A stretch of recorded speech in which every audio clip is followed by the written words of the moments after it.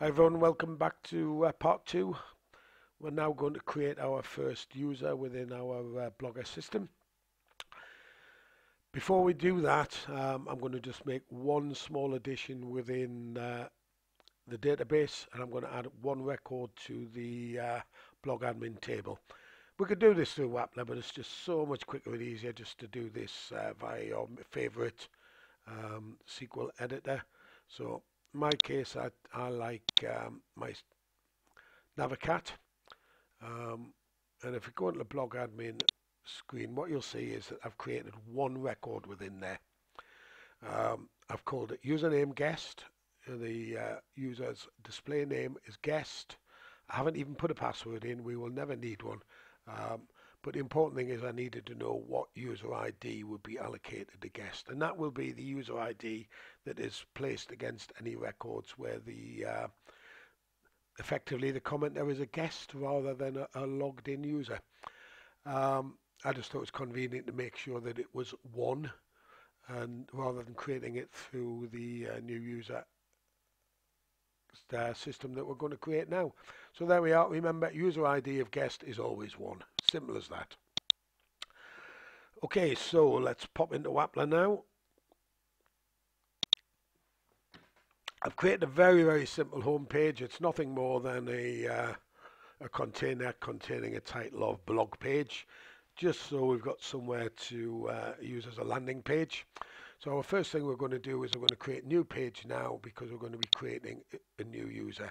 Any of you who have followed my tutorials in the past, if you have looked at the uh, creating a new user with SHA-256 encrypted password, um, that's basically what I'm redoing again.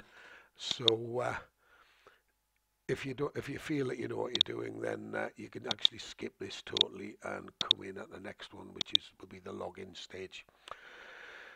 There we've got a simple container with and column again. I'm going to stay right from the start. I'm not going to worry about prettifying this. I'm probably not going to even bother limiting field lengths within a DOM panel very much. Um, I want to teach the nuts and bolts rather than the design technique. Two reasons. One is it makes very, very long videos if you do design. Two is I'm not a terribly good designer anyway. I'm more the programmer than the designer. So, okay, excuse me. um, full of cold at the moment.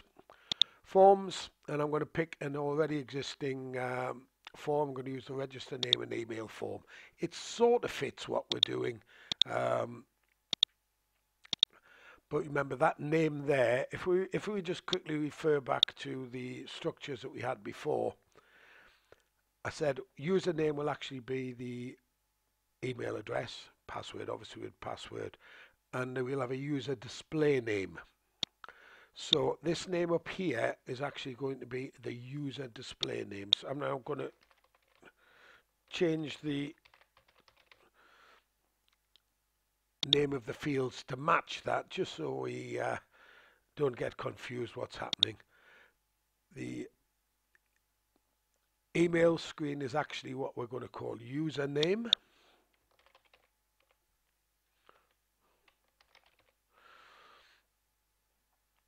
And then last of all, our password in our database we call user password. So we're happy we've got these named the same. User password user name and user display name.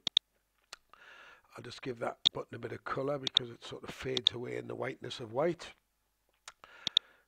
Quick save on that and we're going to call that new user.php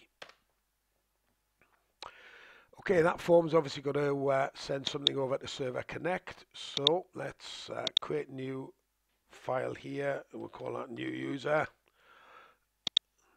First thing we'll do is pull those globals over. Uh, we want those post values pulled over. So they're going to come from the page called new user. And the form within that is register one. If we hit import, we'll see now that those three variables have been uh, created within the post section. I'm not going to mess about with validation. That's over for you later, folks. Um, steps. It's going to be an insert query. Oh, hold on a minute, better give it a uh, database connection to work on first. Database connection, again, here's one I created earlier. Um, if you don't know how to create a database connection, lots of tutorials on that. There's one done by me as well. I think it was the very first tutorial that I did. Um, so I'm not going to go through that process here. And then we're going to have an insert action because we're going to insert details of that user in the system. So there we are. We're going to call it insert user, insert options. Yes, I am hurrying through it. That's the way it's got to be, I'm afraid.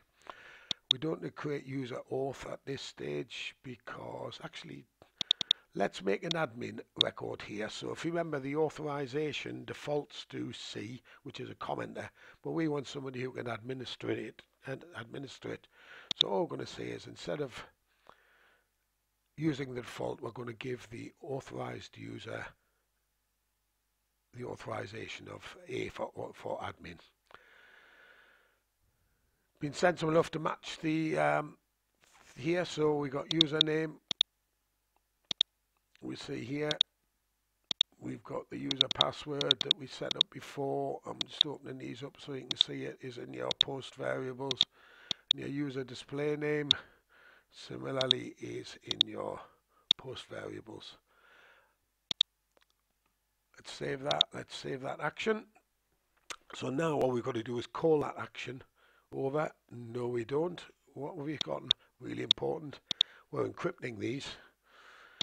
We do not want to leave passwords in plain text. That's a huge, huge security issue. So where we have post user password, if we click the lightning bolt, magic wand over here for formatting, right click, go into cryptographic, and I'm using SHA-256 password encryption.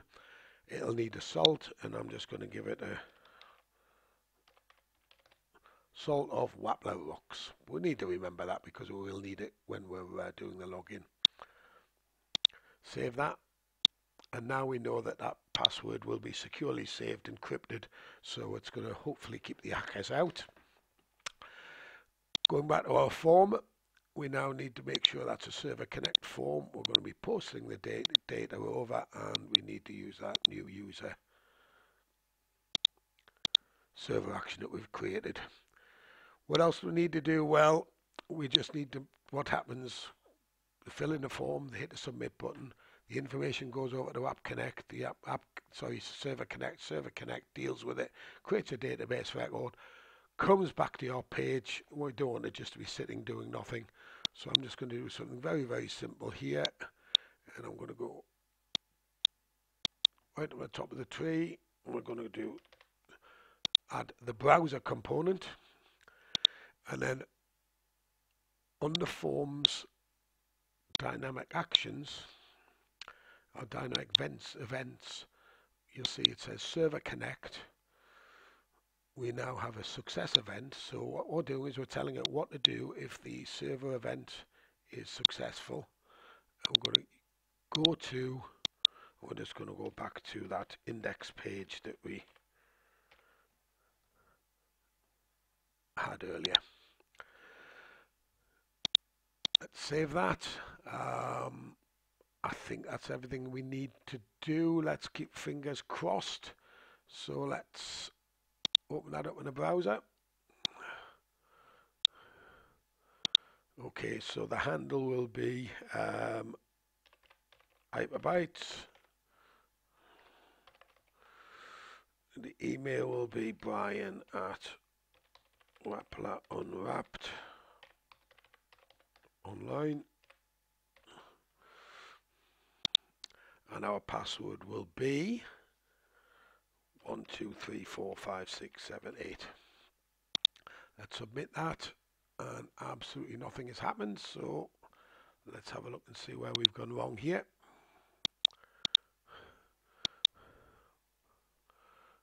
Have we got any errors in the uh, the console?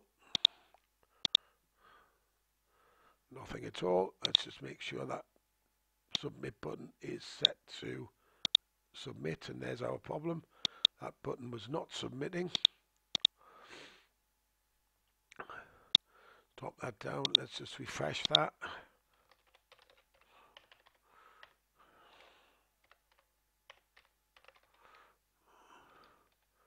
My fingers aren't working today.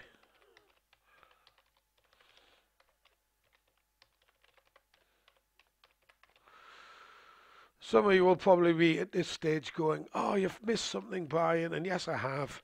We should really be checking to make sure that there's no duplicate um, logins created in the system. Um, I'll come back to that later. So let's hit submit. There we are.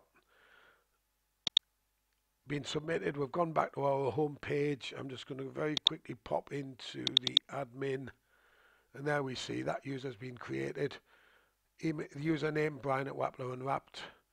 Password you'll see there is nicely encrypted.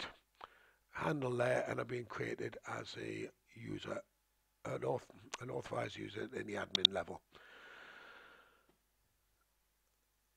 I'm going to put it halter there because uh, we're 11 minutes in and uh, the next unit I think I'll add in that check for duplicate stage to the um, server connect action. So please come back for part three.